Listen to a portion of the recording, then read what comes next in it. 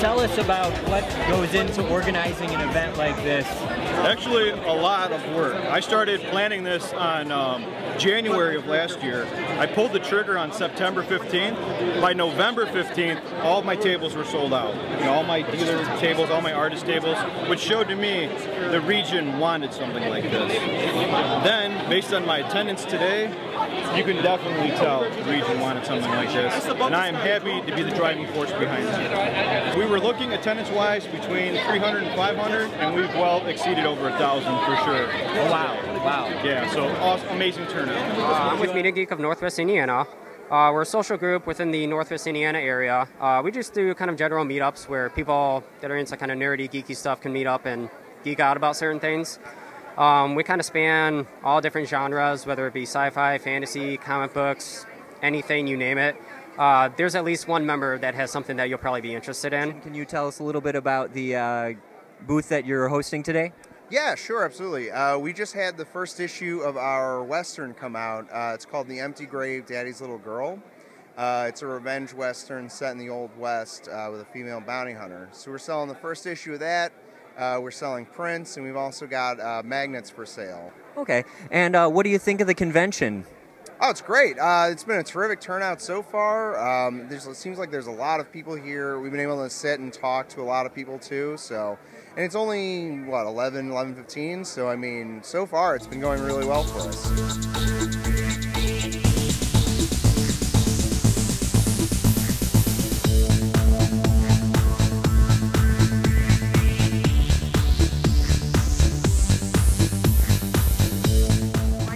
My name is Talia Tail. I am from the Bristol Renaissance Faire. We're located just on the Illinois Wisconsin border. So from here in northwest Indiana, it's less than half a tank of gas. So we're well within means to get there. What what period exactly does the uh, the Bristol Renaissance Faire cover? The Renaissance Fair, well, we, are a chapter of history rather than a page. The cast itself is in the year 1574.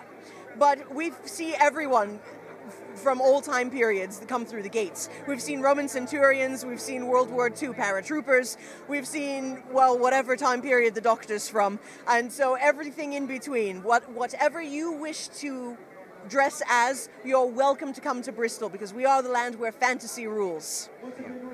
Can you uh, tell us a little bit about your booth today here at the convention?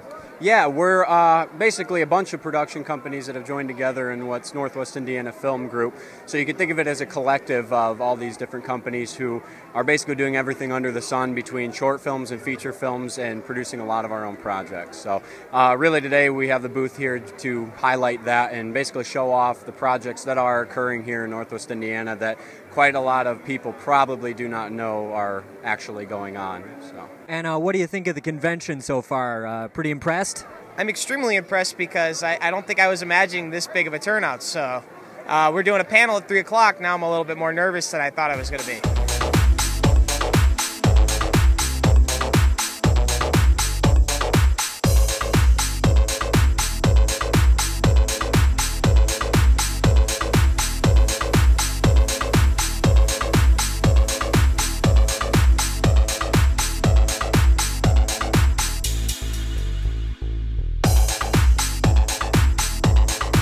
We're the Northwest Indiana Ghostbusters. Um, what we do is we uh, we dress up, we make appearances for charity uh, or for a donation to charity. Um, we do different things like uh, conventions like this. Um, we've also done like haunted house appearances. Just anything you want the Ghostbusters to come out to, uh, you know, we'll be there. Can you tell me a little bit about your costume? Uh, the costume, yeah, the costume consists of a few different parts. Um, I've got the proton pack. The jumpsuit, it's just a, uh, a standard flight suit. Um, the patches are all custom made. Um, the belt gear, uh, there's a lot of different things that you can put on the belt. Uh, there's a gizmo that doesn't have an official name, it's just the gizmo. Um, we've got our trap here, uh, PKE meter. So um, there's a lot of different pieces to it. It takes a long time to put it all together. Um, for the proton pack itself, I've collected almost a year collecting all the parts for it. Um, this is actually the second one that I built. We're representing the 501st Legion. 501st Legion is the world's definitive imperial costuming organization with the blessing of Lucasfilm and now Disney. We do uh, multiple charity functions. We raise charity money for Make a Wish, Salvation Army, organizations such as that. And uh, we're a worldwide organization. We have over almost 7,000 members now. And uh, what uh, what do you think about the convention here in uh, Northwest Indiana region today? It's impressive. It's most impressive. Several people are here for first year first year con. This is pretty nice. They look